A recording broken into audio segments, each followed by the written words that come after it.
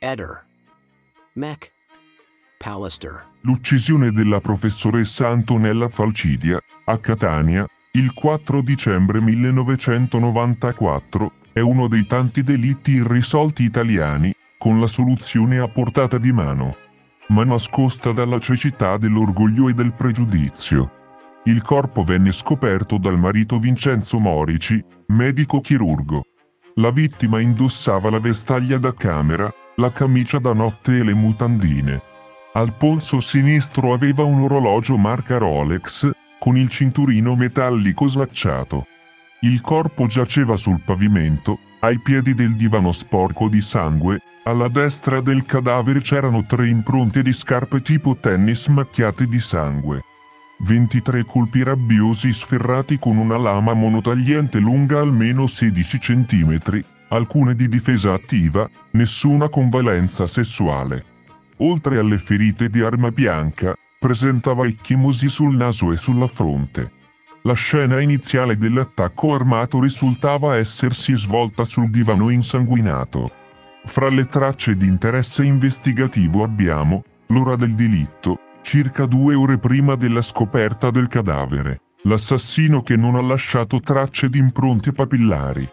Non sono stati rinvenuti segni di effrazione sulla porta, sui vetri e sui vari infissi dell'abitazione. Non è stato constatato il disordine classico della tentata rapina o dell'intrusione per furto.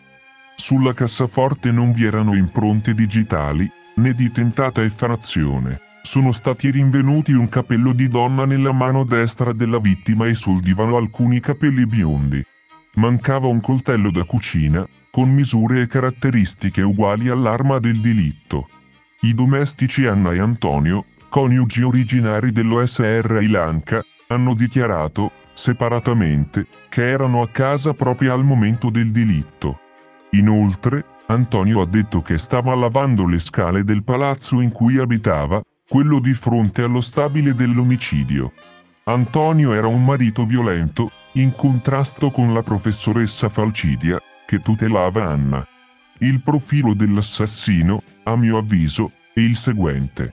Soggetto maschio adulto, lo si deduce dalla forza dei due pugni sferrati alla fronte e al naso della vittima, dalla forza impressa alle pugnalate, dall'accanimento sulla vittima. Dall'opera di alterazione della scena tramite le tre orme di scarpa femminile, indirizzando cosi sospetti verso una donna. Soggetto con ampia libertà di movimento che si è introdotto artatamente aprendo la porta con un doppione della chiave, lentamente e silenziosamente, senza il rumore dello scatto. Questo dimostra che sapeva che la vittima stava guardando la televisione con le spalle rivolte alla porta che sapeva come poter neutralizzare il sistema d'allarme situato accanto allo stipite della porta. Un soggetto agile, veloce e scattante, organizzato, pianificatore, freddo, determinato, abile nell'intrusione e nell'azione esecutiva, capace di far fronte a imprevisti, ostacoli e situazioni di pericolo, che ha dimostrato un agevole controllo visivo e strategico del palazzo, ottima capacità e possibilità di intrusione, con accesso, contatto e o frequentazione con soggetti che erano in possesso delle chiavi. Conosceva gli orari e le abitudini della vittima, del marito, del figlio e dei collaboratori domestici. Conosceva anche, in anticipo, i loro movimenti per la sera del delitto. Le sue attività di depistaggio dimostrano che vive con una donna che non ha scarpe taglia 36 e non ha capelli biondi o castani. Proprio perché ha seminato sulla scena capelli biondi e tracce di scarpa taglia 36. Ha dimostrato una tecnica d'uso del coltello che non è quella siciliana, colpi di taglio e di sfregio con inevitabile riferimento al volto.